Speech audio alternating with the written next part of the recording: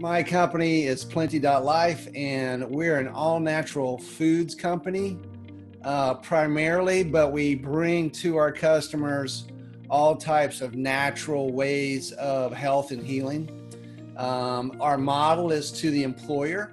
So we actually provide all natural organic foods and these other products to employers to benefit their employees because at the end of the day, um, when the employer is paying for the healthcare coverage of the whole family, but they're really only orienting in house um, services to their employees, we want to affect their employees' families' health. And so that's what our business is oriented to. And we've adopted the Healy technology because of my health tech background as a part of that all natural uh, solution set to employer groups.